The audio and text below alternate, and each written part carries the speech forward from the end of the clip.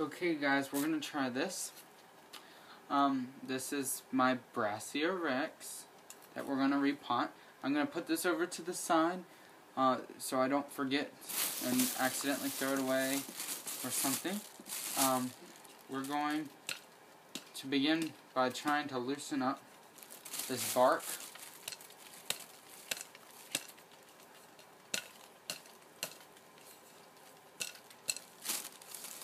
Um, I'm just going to slowly pour it in this bag that I'm using as a trash bag right now. As far as I can see right now, it um, doesn't have too bad of roots. I'll show you all in a minute. Um, but I'm going to try to be easy and getting this bark out. Um, it was due for a repot, and I really wanted to get it out of this clay pot right now, because I saw some mold on the bark. So I just wanted to be able to get some of this out. Let's see. Well, let me pause this so I can go ahead and get all this out and I'll be right back. Okay, so I unpotted it and went downstairs and rinsed it under the kitchen sink and here's all the roots that um that it has. Now I'm going to pause and go through and fill um, for dead roots. If they're dead, they'll be kind of mushy and squishy and then some roots just pull off completely. Um, so that's what I'm going to go through and do, but I think it'll have a lot of the roots left because most of them feel really nice and firm and I've seen some light little grow tips on here so I think it, it'll bounce back really well from this repot and it might actually do better than what it already has because it looks so well um, and it, it did need to get out of the pot um, there was a um, centipede in the bottom of the pot, just a little one, and there was the media was starting to break down, but not bro broken down completely. But um, I'm gonna pause this video and cut off the dead roots real quick. Okay. And this is what I am left with. Like I said, there's a lot of good roots here. Um, there's an old really old pseudobulb down here that I just decided to cut off. But now, um, we are going to spray these roots down with a hydrogen peroxide mix. Um, there's some water in here, but um, it's mostly hydrogen peroxide. I'm just going to sterilize all these good roots, make sure everything's going to be okay. Um, everything's healthy and very well cleaned. I can hear, it's going to be hard to let you guys hear it, but um, I'm just going to tell you about it. I can hear the sizzling going on, so I just want to make sure that I get all these really well. I want to make sure do that. And I think that's good. Um, so that's how I cleaned it. A paper towel that I have down here that I'm just going to sit it on right now and move it to the side. Alright, so this is the pot I've chose. It's got plenty of um, drainage. And first, I think I've decided that I am going to put, let's see if they, make sure they don't fall out. I'm going to put some of the hydroponic beads down in the bottom and make sure there's going to be some that um, are going to be too small. Uh, this bag has different sizes in it. Um, It's alright. I'm just gonna fill it up a little bit. It's got plenty of drainage anyway. I just want most most of just the skim of the bottom to be filled with hydroponics. I want to make sure all this is filled up. Like I said, I don't really care it's not filled up much, but it'll be filled up enough.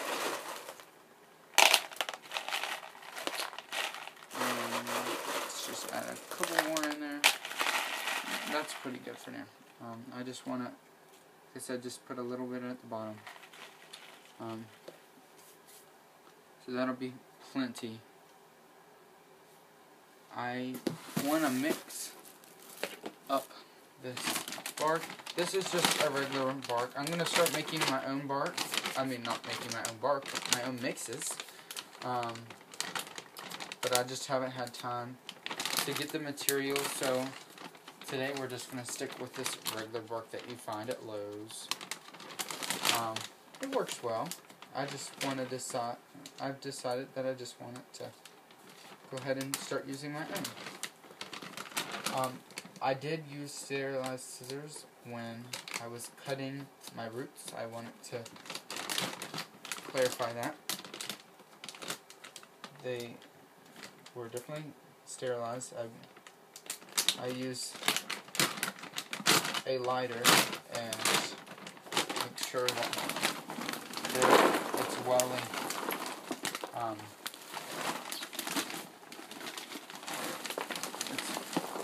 make sure that it has gotten um, sterilized. Can't think of the word.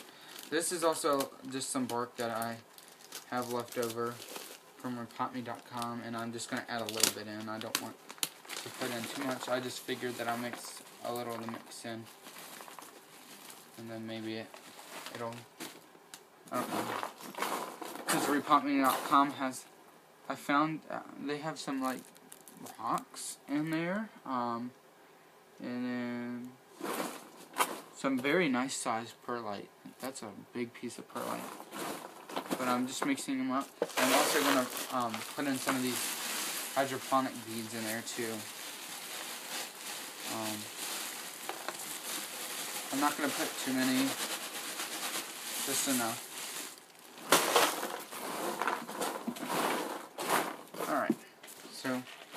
I'm going to go ahead and put in just a little bit of bark at the bottom now. And I'm going to sit this in here. Make sure that you put the oldest bulb up against the plastic if you can. Um, if not, just try to put it as far as over as you can. And um, just sit it in there like that. I'm actually going to un like take some of this bark out because it was actually just a little too much. Um, but I'm gonna sit it in there just like that, and I'm going to backfill now.